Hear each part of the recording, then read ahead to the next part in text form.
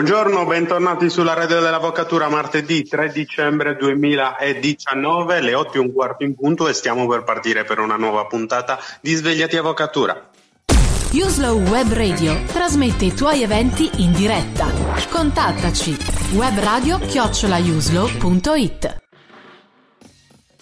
Buongiorno ancora, Pierluigi Serra che vi parla in questo martedì 3 dicembre, una nuova puntata di Svegliati Avvocatura eh, sulle frequenze della radio dell'Avvocatura in regia Ornella Sala e in conduzione con me da Vicenza Angelo Marzo. Ciao Angelo. Ciao Pierluigi, buongiorno ad Ornella e buongiorno a tutti i radioascoltatori.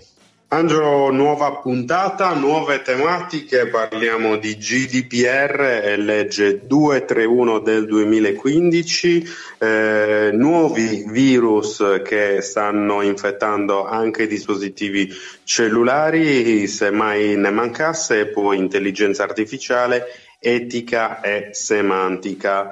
Eh, Angelo, io direi di eh, partire da, eh, la, da, dall'intervista a Fabrizio Sigillò, foro di Catanzaro, grande amico della radio e grande esperto di, eh, di informatica, telematica e dispositivi informatici perché gira un nuovo virus via PEC che infetta anche i cellulari con il sistema Android. Gli ho chiesto di raccontarci di che cosa si tratta e come difenderci. Sentiamolo Fabrizio Sigillo. Hai qualcosa da dire? Hai qualcosa da dire? Contattaci webradio chiocciolaiuslow.it Buongiorno, bentornato nella radio dell'avvocatura al collega del foro di Catanzaro, Fabrizio Sigillo. Ciao Fabrizio. Buongiorno a tutti, ciao Pierluigi e buongiorno a tutti coloro che ascoltano.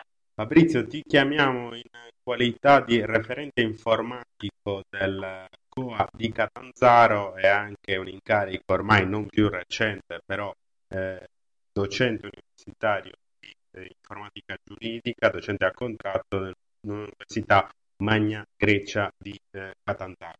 Eh, ti ho invitato a parlare con noi perché tu sei sempre attivo come tanti nostri amici nel monitoraggio dei malware e virus che capitano nel, nella rotta della, dell'avvocato eh, quotidianamente hai scoperto che sta, si sta diffondendo un malware che eh, arriva via PEC e infetta anche il sistema operativo Android. Spiegaci che cosa sta accadendo, come eh, lo avete monitorato questo, questo virus. Diciamo che Catanzaro è stato in qualche modo, e io sono stato in qualche modo agevolato dal fatto che è stato proprio un nostro collega, avvocato, ad essere interessato a questo malware. Devo dire la verità che all'inizio ho faticato anch'io a crederci quando mi parlava di un file che non era il solito zip o il solito exe che eravamo abituati a reperire nei virus che al momento stanno girando ormai da ottobre eh, a mezzo comunicazioni tech, però un approfondimento che ho svolto in collaborazione con un amico esperto eh, mi ha consentito di accertare non tanto e solo che il file fosse effettivamente un eseguibile per il sistema operativo Android, ma soprattutto anche i suoi, i suoi effetti.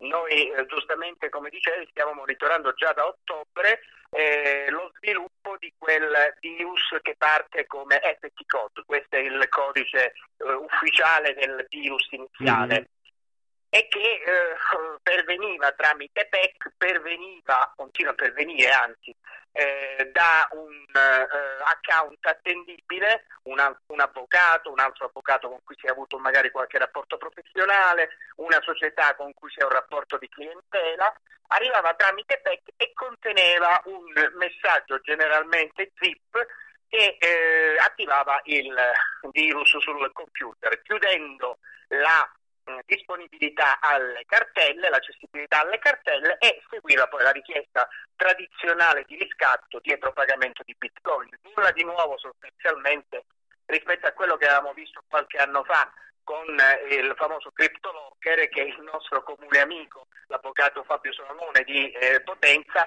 mh, aveva, di Matera, aveva avuto modo di esaminare eh, con la massima attenzione eh, e di illustrare in un simpaticissimo video che diffuse poi all'uso, allo speroso consumo degli avvocati. Sì, sì. Questa, mh, questo virus poi ha avuto un ulteriore sviluppo, ovvero sia, parlo di pochi giorni fa, il virus girava sempre via PEC, girava sempre con uno zip oppure con un file con estensione WSS, che era un eseguibile che attivava il virus.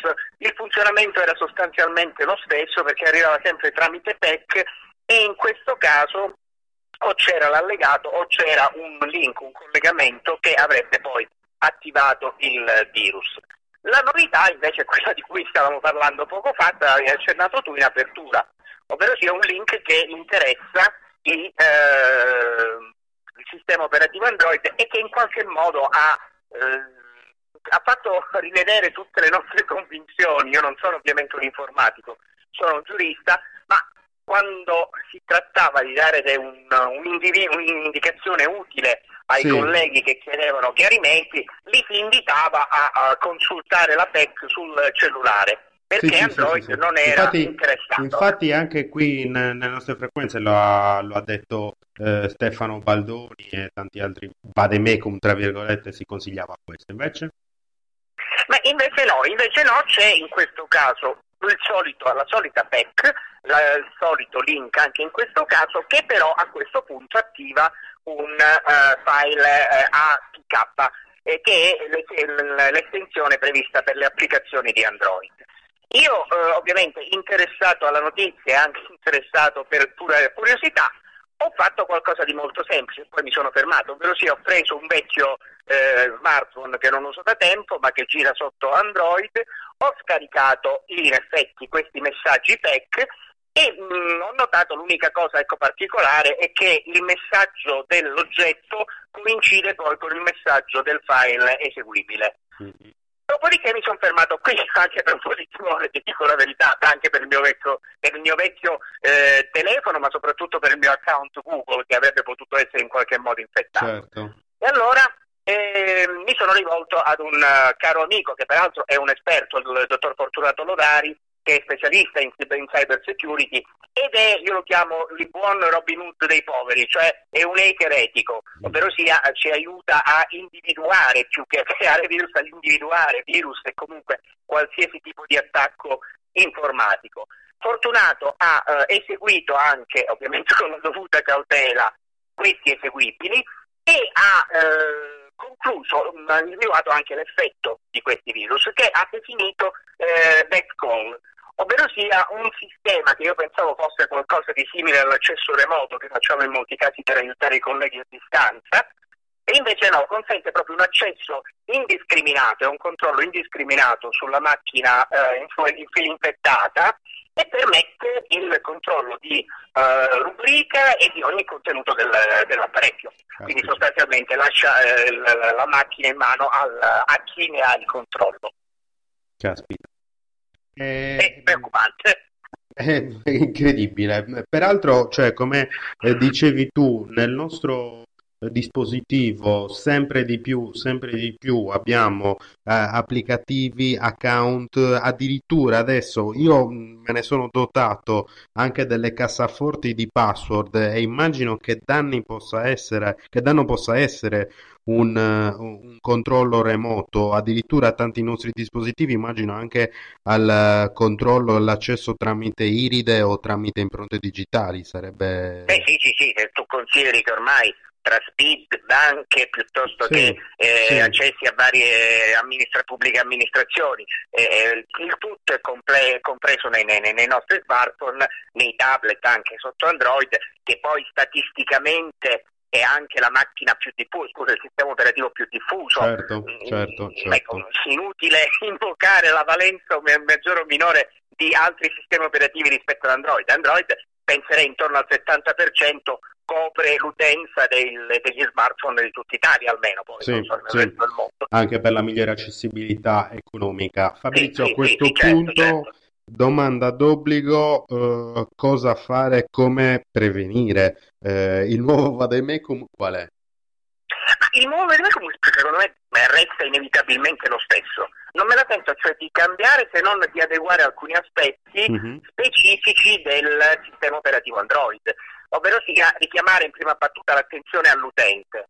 In linea di principio, cioè eh, ho, ho, mh, elencato le- le- le- il funzionamento di questo, il manifestato, scusami, di, questo, di questa PEC e già in, in quella fase l'utente, l'avvocato ancora di più, indipendentemente se sia informatico o meno, ha la possibilità di accertare la l- bassissima affidabilità di una PEC che arriva da un avvocato e che contiene un link. Ecco, un Pierluigi Serra che mi manda una PEC e- in cui non trovo neanche un, un cordialissimi saluti, ti abbraccio eh, Pierluigi. Ecco. Certo. Mm, è- è Peraltro-. Peraltro, correggimi se sbaglio, non so se questa è la regola, c'è anche una particolarità che proviene da una PEC, però eh, giunge a un indirizzo normale. Eh, non so se Certo, certo, infatti, io, infatti ti dicevo io non ho voluto rischiare il mio Gmail perché il, il file in questione ce l'avevo disponibile su Gmail, quindi anche lì il passaggio, come dicevi giustamente tu, e qualcosa si può ancora aggiungere, il passaggio all'esecuzione del virus sostanzialmente è in qualche modo guidato anche dall'utente disattento, perché Certo. soprattutto con riferimento ad Android, sappiamo innanzitutto che Android di default è settato per non far eseguire i file che non provengono dal Sì. Google Play, dal negozio di Google. Ora, è pur vero che abbiamo due, due esperienze poco felici in questo senso. CamScan che eh, è stato scoperto essere interessato ad un virus e attraverso Google Play è passato anche il famoso Exodus, il Trojan di Stato di cui Report ha parlato proprio la scorsa settimana, quello Mhm. usato dalle procure per intercettare, anche quello è passato su- sotto Google Play. Però direi che nel 99-98% dei casi prendere un applicativo dal Google Play dovrebbe dare la massima affidabilità. In questo caso l'eseguibile, non essendo contenuto in Google Play, deve essere e può essere eseguito soltanto se l'utente ha autorizzato il proprio dispositivo a scaricare e ad eseguire questo, eh, qualsiasi applicazione, quindi non soltanto quelle di Google Play. Senza dimenticare che nel 90% dei casi, vado anche in questo caso di statistiche, l'esecuzione, o meglio scusa, l'installazione di un programma su Android generalmente comprende una richiesta, vuoi installare e poi Sì. vuoi eseguire. Quindi voglio dire, già sotto questo profilo il, eh, il consiglio che si può dare è sono quelli basilari, stare più attenti al contenuto della PEC che non al fatto che essa provenga tramite PEC e quindi che non sia affidabile tu curo solo perché è una posta certificata. Questo è il primo consiglio. D'altra parte è pur vero che al di là del danno tecnico che la macchina può subire e del, eh, degli accessi alle password che possono essere in quel caso eh, acquisite dal nostro computer, perlomeno i dati contenuti in un telefonino o in un tablet sono generalmente più ridotti rispetto a quelli che conteniamo sui nostri computer. Questo non significa eh, diminuire l'attenzione, ma comunque diciamo che il livello di rischio è leggermente più, più basso rispetto a quello che eh, si mh, deriva dalla, da, da, dalla esecuzione di un virus su un computer con sistema operativo Windows. Però, eh, giustamente, meglio, molto meglio prevenire, stare attenti e soprattutto come quest'ultimo passaggio lo hai sottolineato e lo rendeva molto evidente anche Fabio Salomone nella sua dimostrazione video, cioè l'utente deve fare veramente tanti passaggi ed essere completamente disattento. E, e quindi, insomma, prestare maggiore attenzione, almeno pari a quella con cui svolgiamo il nostro lavoro tutti i giorni adempimenti. Fabrizio, ti ringrazio molto, grazie eh, per questa eh, esaustivissima ehm, esposizione. Invito anche tutti gli ascoltatori a visitare il sito del COA di Catanzaro, eh, in cui è tutto riassunto e sintetizzato in un articolo. Eh, ti ringrazio e ti saluto caramente. Ciao Fabri- Grazie Fabrizio. mille, saluti a tutti e buon lavoro, saluti a tutti gli ascoltatori. Ciao. Uslove Web Radio, la voce dell'avvocatura. E dopo la bellissima intervista che ha curato Pierluigi con Fabrizio Sigillò sulle infezioni dei sistemi addirittura anche Android e quindi anche dei cellulari, passiamo invece a parlare di GDPR e lo facciamo nel rapporto fra il GDPR e la legge 231 2015, cioè quella dei reati cosiddetti presupposti dei reati in tema societario. Ascoltiamo Rossella Di Pietro del Foro di Napoli. Uslow Web Radio, la radio dell'avvocatura, da colleghi a colleghi. Da colleghi a colleghi. Buongiorno alla collega Rossella Di Pietro. Buongiorno a tutti. Allora, siamo con Rossella Di Pietro, penalista del Foro di Napoli eh, che si occupa di compliance soprattutto della 231 e della privacy essendo un avvocato che svolge il, il ruolo di penalista. Allora Rossella, hai scritto un interessante articolo eh, proprio sulla compliance integrata eh, per le confluenze fra il GDPR e la legge 231. Quali, tu hai parlato di prospettive di breve, medio e lungo periodo. Che cosa intendi e quali sono le confluenze? Sì, ehm, in particolare io mi sono diciamo, interessata di quelle che riguarda la, la qualifica soggettiva su, eh, dell'organismo di vigilanza, cioè questo organo di chiusura della, della 231. Esatto. E in realtà diciamo, ehm, nell'ambito dell'attività di studio e ricerca in cui eh, mi sto mh, eh, dedicando, eh, che riguarda contemporaneamente sia la logica dei modelli 231 sia la logica del GDPR, che è una logica di approccio al rischio e prevenzione mhm. sia del compimento di reati, per quello che riguarda appunto la materia della 231 e i reati che sono previsti specificamente dal catalogo del decreto legislativo, sia per quello che riguarda eh, diciamo, le violazioni eh, introdotte nel nuovo regolamento europeo. Mm. Innanzitutto ehm, ritengo che se, diciamo, mi farebbe um, piacere liberare un attimo il campo da possibili confusioni di piano e poi anche sistematiche, perché eh, nel caso specifico dell'organismo di vigilanza ehm, indicare e indagare qual è la qualifica soggettiva ai fini della del nuovo regolamento europeo ha un senso non soltanto teorico ma pratico perché eh, mischia praticamente le confluenze di, un ordin- di, una legislazione obbligatoria, che è quella ovviamente della privacy, eh certo. con una invece che è obbligatoria soltanto per alcune realtà e per le altre resta invece eh, diciamo, lasciata alla scelta delle aziende, parliamo soprattutto eh, di un panorama italiano che si compone prevalentemente di piccole e medie imprese, esatto. eh, che eh, possono scegliere di diventare, tra virgolette, virtuose e adottare un modello 231. Se adottano il modello 231, oggi si trovano a dover capire l'organismo di vigilanza, ovvero quest'ente nel quale eh, confluiscono delle informazioni che vedremo di qui a breve almeno di tre livelli e che quindi possono contenere dati sensibili, eh, certo. eh, i, i vecchi dati sensibili, sensibili, dati diciamo, giudiziari, particolarmente attenzionati dal, dal nuovo regolamento, eh, come debbano essere insomma, tutelati eh, nell'ottica del, del, nuovo regolamento. Questo soprattutto perché il nuovo regolamento prevede delle sanzioni, un compendio sanzionatorio molto, eh, diciamo, molto stringente. Quindi la premessa di fondo alla quale eh, bisogna muovere prima di arrivare alla qualifica soggettiva del, dell'organismo di vigilanza è proprio quello della compliance integrata, cioè la circostanza che oggi eh, l'ordinamento richieda una un'adeguatezza normativa su più fronti e che ovviamente può comportare una, diciamo, necessita di un controllo efficiente di conformità a regolamenti, leggi e discipline che passa per la mappatura dei processi, che è la stessa mappatura sia per eh, il, il, diciamo, il, modello 231 che per il sistema della privacy, solo che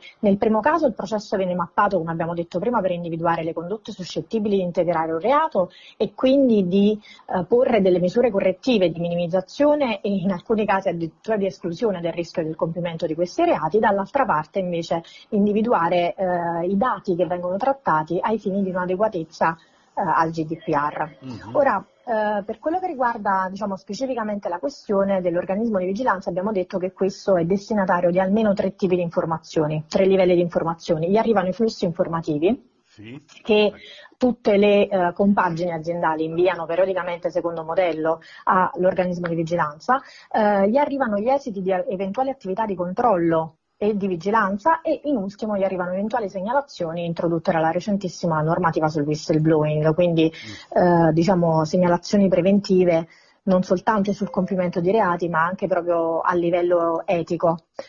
Uh, la questione sulla qualifica soggettiva uh, diciamo, verte su due piani eh, si è discusso se debba essere considerato titolare del trattamento oppure se debba essere considerato responsabile. Mm. Titolare eh, a norma del GDPR è colui che eh, determina le modalità, le garanzie e i limiti del trattamento dei dati, ovviamente nel rispetto della normativa, e il problema con l'organismo di vigilanza si è posto perché questo diciamo da definizione, quindi dalla definizione che è contenuta nel decreto legislativo 231, è connotato di una serie di requisiti eh, in particolare quello dell'autonomia e quello dell'indipendenza. Certo. Esatto, che eh, praticamente vogliono dire che i membri dell'organismo di vigilanza non devono ricoprire né cariche apicali all'interno della società né tantomeno eh, possono svolgere compiti al di fuori delle, delle prassi, cioè possono svolgere i propri compiti anche al di fuori delle prassi consolidate, tutto ovviamente al fine di eh, prevenire il compimento di, di eventuali reati. Mm-hmm e quindi questo ha portato insomma, alla possibilità di un po' mischiare quelli che sono i piani, ma ehm, è da escludere la possibilità di qualificare l'organismo di vigilanza come titolare del trattamento perché ehm, la base giuridica del trattamento dei dati eh, che vengono inoltrati all'organismo di vigilanza eh, è eh, nell'articolo 4 del GDPR che prevede che quei dati sono dati che l'ente vigilato, cioè l'ente che ha nominato l'organismo di vigilanza, esatto, la società, ha diritto e legittimazione a trattare. Eh, dall'altra parte la possibilità, diciamo, la possibilità, alternativa era quella di responsabile. Ora la figura del responsabile eh, è contemplata dal, dal, GDPR soltanto come responsabile esterno, non esiste più, mm. esatto, non esiste più il responsabile certo. interno che precedentemente eh, insomma, era previsto. Oggi abbiamo i soggetti designati Mm. che il garante però ci ha detto che possiamo continuare a chiamare incaricati come facevamo sì. anche ai sensi del vecchio regolamento privacy. Mm-hmm. E anche qua però ehm, è un po' difficile qualificare i membri dell'ODV come responsabili del trattamento per una ragione prima di tutto ontologica e quindi proprio di struttura dell'organismo di vigilanza e poi anche giuridica, perché l'organismo è eh, diciamo pacificamente di carattere istituzionale interno alla compagine societaria, quindi eh, diciamo, il ruolo e le funzioni dell'ODV non non possono essere conferite in outsourcing e quindi l'inquadramento soggettivo ai fini privacy risulta assorbito da quello della società vigilata nella quale l'ODV opera. Certo. Um, in realtà l'argomento è stato trattato anche dalla dall'Associazione dei componenti organismi di vigilanza che ehm, diciamo, non ha saputo in ogni caso trovare proprio una casella specifica del, eh, del, GDPR nella quale inserire l'ODV, anche perché i soggetti che il GDPR oggi contempla sono veramente pochi, cioè alla fine non sono poi così tanti. Però quello che eh, diciamo, l'associazione ha, come dire, ha un attimo stimolato diciamo è la una facoltà... sorta di linea guida, va. Cioè, così, sì, esatto, ha mm. stimolato la facoltà del titolare del trattamento di poter indicare semplicemente mm-hmm. all'organismo di vigilanza delle misure tecniche organizzative. Quindi eh, qualcuno dice che si potrebbe considerare anche come un incaricato o magari considerarlo un soggetto designato, ma essendo eh, un organismo all'atere da quella che poi la compagine societaria, soprattutto dalle figure di staff e di line mm. eh, insomma, della società, è, mm, diciamo, la soluzione potrebbe essere semplicemente quella di far firmare un accordo di riservatezza e non attribuire poi una qualifica effettiva certo. ai membri dell'ODV. Certo. Benissimo, cioè l'unica cosa comunque che eh, ci si pone è relativamente soltanto a questo modello no? 231, perché ricordiamo è il modello 231 che... Ma... In realtà mm. eh, l'organismo di vigilanza vigila sull'adeguatezza del modello, sì, il modello certo, viene appunto, su, su, diciamo, sulla sulla formulazione dello stesso, no? Su, su, sì, su, anche sul fatto eh, che venga rispettato l'effettività del eh, modello. Eh, sì, su quella effettività proprio per questo, non, non tanto alla sì. materiale compilazione, ma, ma all'osservanza di esatto. quello. Eh, esatto. Quindi, però diciamo che io anch'io preferisco dire che è semplicemente un ordinamento di vigilanza e che è un organo indipendente e autonomo, senza dargli necessariamente quella qualifica che più volte... Per non imbrigliarlo, eh, diciamo, sì, per non imbrigliarlo in, in, uh, appunto, in, uh, in, una struttura che magari nulla ha a che vedere con lo stesso, no? Sì, anche perché diciamo che l'adozione del modello di vigilanza eh, rispetto a eh, quello che è il modello di organizzazione privacy, no? che poi si è detto il MOP, è una pratica virtuosa dell'ente, è una scelta che l'ente compie. Certo. È chiaro che un ente che è attento al punto da arrivare a scegliere di adottare un modello di organizzazione e gestione dell'attività ovviamente non può prescindere a questo punto da un adeguamento anche in materia di privacy, uh-huh. che eh, evidentemente va a toccare anche l'organismo di vigilanza. Però diciamo, seguendo quello che è un approccio unitario, cioè l'approccio di base che abbiamo detto all'inizio, quello del rischio, è tutto abbastanza eh, diciamo, contenibile come effetti. Eh, certo che però eh, comunque diciamo che fra virgolette fa parte di quella organizzazione della società, no? perché questo sì. perché, perché, diciamo è così, è strutturato da questo punto di vista e questo forse ha posto, ha, ha posto la necessità di eh, definirlo in certi ambiti, perché qualcuno dice ah, ma siccome fa parte della società è come un po' il collegio dei revisori, un po' come i sindaci. Eh, sì, no? anche se diciamo, però, la recente tendenza soprattutto soprattutto sì. insomma, per le società poi di più ampio respiro è quella di nominare un organismo di vigilanza certo. completamente esterno. Certo, certo, assolutamente, questo è necessario, ma questo, per questo per... dico, questa eh, eh, sottile differenza probabilmente ha portato alla necessità di volerlo strutturare secondo il GDPR, in realtà il GDPR deve, eh, si compenetra con lo stesso organismo di vigilanza, ma non è, non è diciamo, la, sì. la, la, figura proprio del GDPR, fa parte di esatto. quell'ambito ma, ma, fuori dall'ambito stesso, cioè, sembra un ossimoro ma, ma in realtà forse è così, no? Diciamo che la conclusione del tutto potrebbe essere che poiché il GDPR, che è ovviamente obbligatorio ed è quello che un po' eh, diciamo, spinge per il compendio sanzionatorio, ehm, ha eh, affidato in capo al titolare un principio fondamentale che è quello della responsabilizzazione, esatto, per sì. cui il titolare può scegliere qualsiasi cosa purché la motivi. Esatto. Di conseguenza insomma, una valutazione ponderata della scelta di far firmare ad esempio in questo caso un accordo di riservatezza ai membri dell'organismo di vigilanza purché motivata può andare bene. Bene, grazie della piacevole chiacchierata intervista Rossella, a risentirci a presto e una buona giornata. Newslog Web Radio, la voce dell'avvocatura.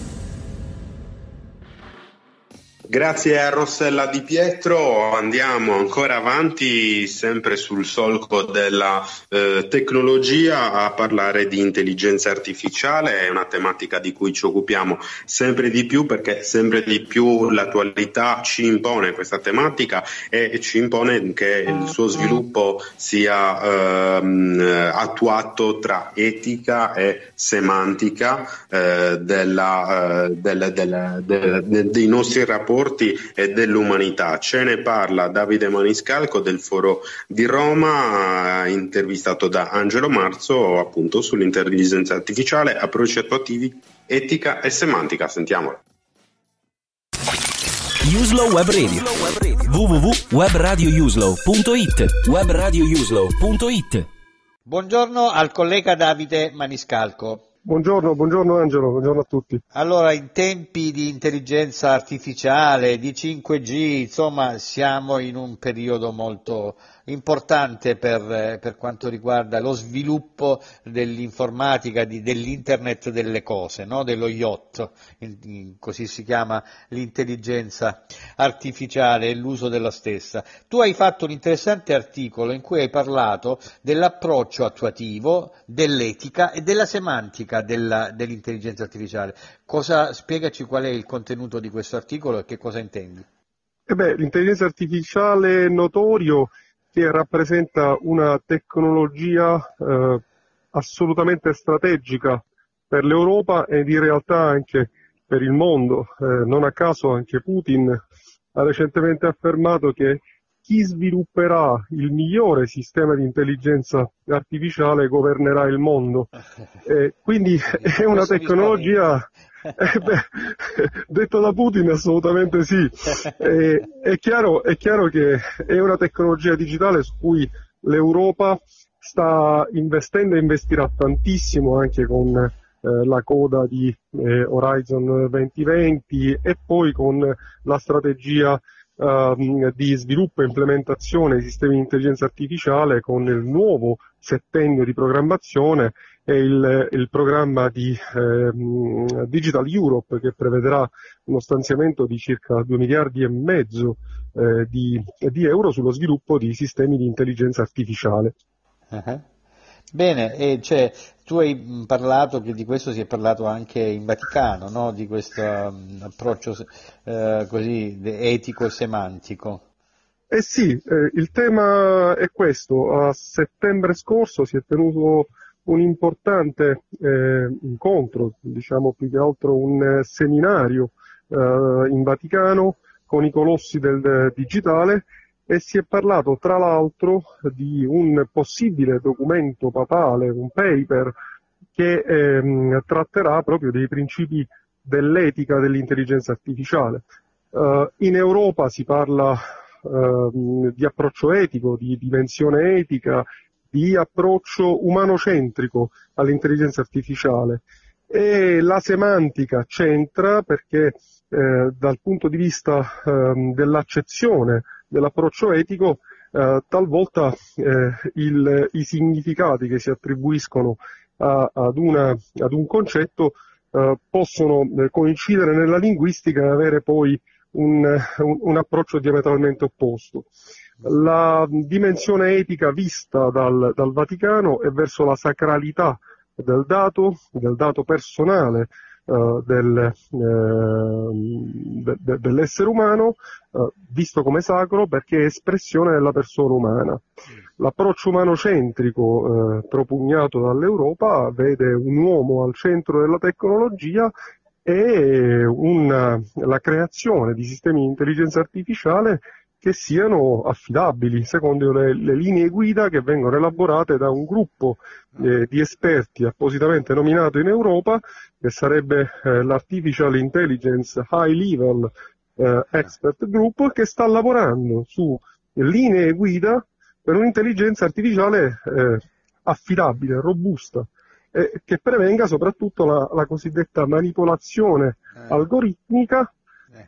che, che, è il vero spauracchio dell'intelligenza artificiale, cioè la, eh, lo sviluppo di, una, uh, di tecniche di profilazione che possano giungere a eh, comprimere, a sacrificare la libertà di autodeterminazione dell'individuo. Che poi è sempre il contenuto di tutto, dalla GDPR ai, al perimetro cibernetico, quello della governance, della trasparenza, delle responsabilità e, e della, eh, della, sicurezza, no? dell'affidabilità delle, delle, di tutte le intelligenze artificiali. No? Quindi, assolutamente sì, assolutamente sì, perché il principio di base è la, l'aggregazione di dati assolutamente destrutturati eh, che provengono dall'IoT.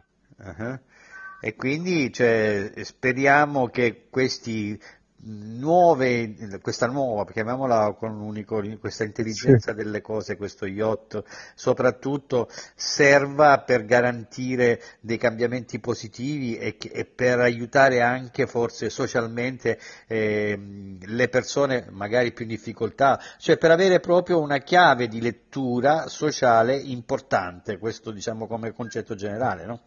Noi tecnici lo auspichiamo tutti, tra l'altro la, il nuovo commissario europeo, non appena si insedierà, ha già promesso che nei primi 100 giorni di governo si dedicherà ad un approccio coordinato e sistemico per eh, un, eh, un'intelligenza artificiale etica e umanocentrica. Eh, infatti poi parleremo anche più in là probabilmente anche dei contenuti di Enisa relativamente alle paure e a tutto questo sistema che ci vedrà coinvolti probabilmente dentro l'anno prossimo in maniera molto più determinata e molto più invasiva.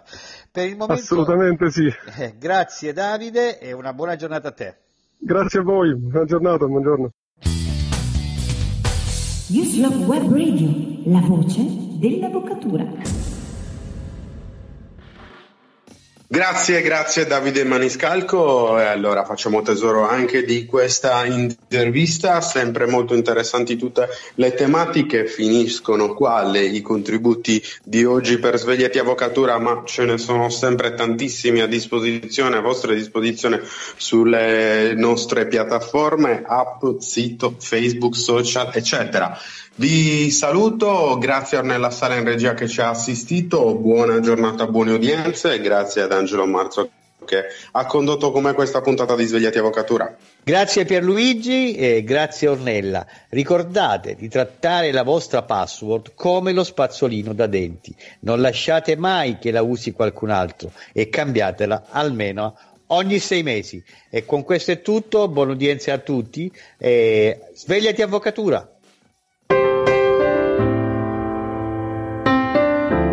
Libertà e diritto per diffondere giustizia. È con la passione che si raggiungono i grandi traguardi e le frequenze di Use Web Radio pulsano di amore per la nostra professione. Questa è la radio degli avvocati che parla agli avvocati. In onda ogni giorno tutte le novità normative, gli approfondimenti e le interviste sui temi di attualità passano da qui. Use Web Radio, il vostro appuntamento quotidiano con la giustizia.